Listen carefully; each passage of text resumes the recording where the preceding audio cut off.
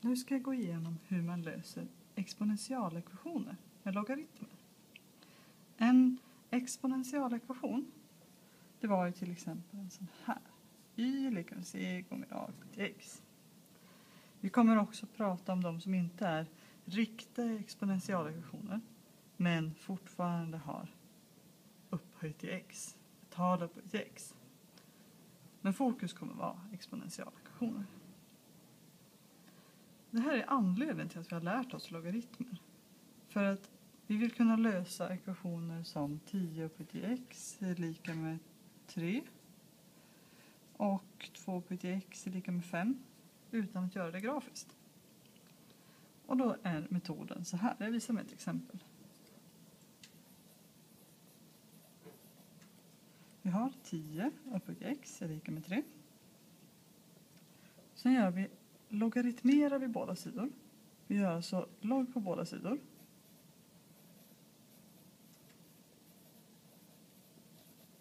Eller LG på båda sidor. Då får vi att LG 10 upphöjt till x är lika med LG 3. Det får vi göra så länge vi gör samma på båda sidor. Sen finns det en lag som ser ut så här. LG A upphöjt till x så kan det skrivas om som x gånger LGA. Den lagen ska vi bevisa senare. Och om vi nu har den här lagen så utnyttjar vi den. Vi får alltså flytta ner exponenten i en logaritm utanför logaritmen. Då får vi x gånger logaritmen för 10 är lika med logaritmen för 3.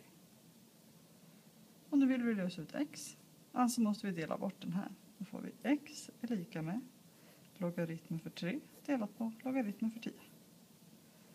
Och då blir ju x lika med logaritmen för 3 delat på logaritmen för 10. Det blir ju egentligen logaritmen för 3 delat på, delat på 1 eftersom logaritmen för 10 är 1. Och det blir ungefär 0,4 så x är ungefär 0,477.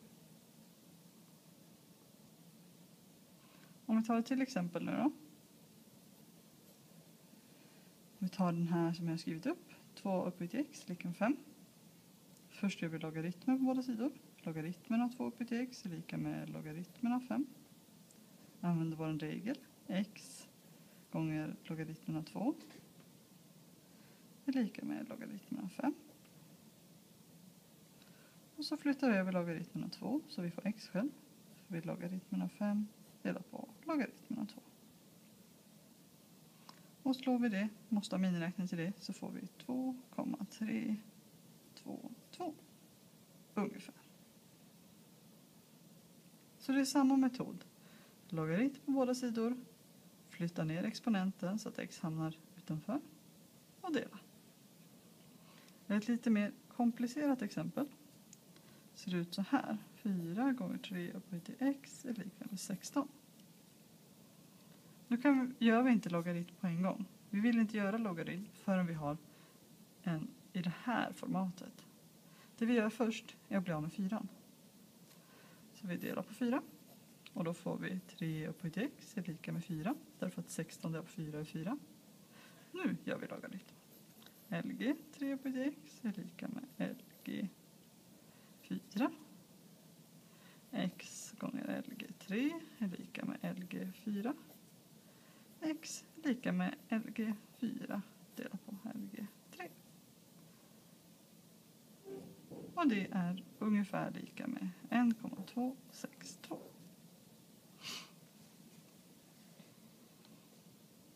Så metoden är väldigt enkel egentligen. Se till att vi har bara en potens med x och ett svar. Gör logaritm på båda sidor. Flytta ut exet. Dela. Klart. Den här, de här två metoderna, eller reglerna, grundar sig på att vi kan skriva om ett tal, som till exempel 2, som 10 upphöjt till logaritmen av 2. Det är därifrån den regeln kommer. Så nu tänkte jag visa beviset eller härledningen.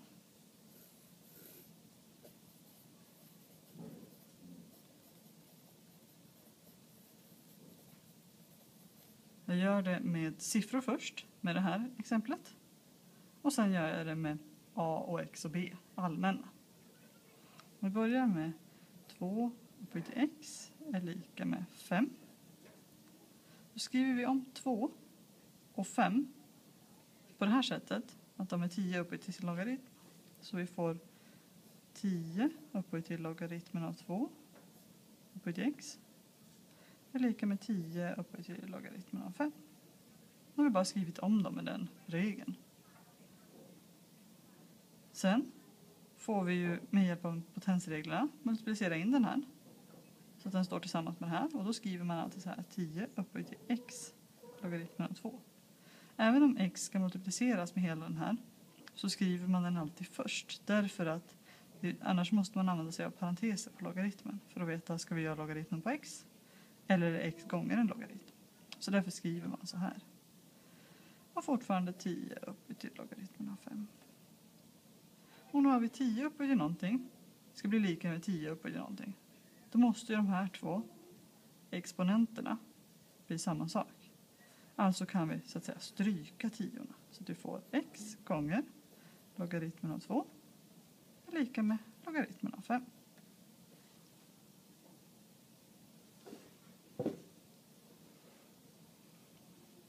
Och nu är vi ju på samma ställe som här. få samma resultat. Om vi nu tar a upphöjt till x är lika med b, den allmänna. Så gör vi samma sak. Vi skriver om a och b som sina logaritmer. a är samma sak som 10 upphöjt till logaritmen av a.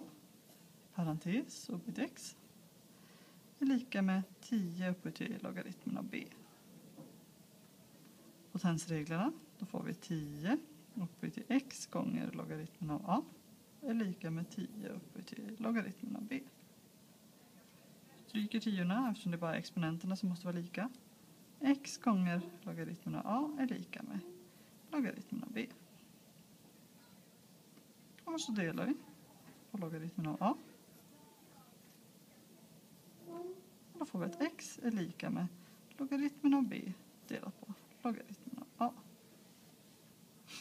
Ni kommer inte behöva använda er av den här metoden som jag visat här med härledningen. Så ni använder er av den här metoden. Förutom om ni vill kunna nå de allra högsta betygen. Då ska ni kunna göra ett sånt här bevis.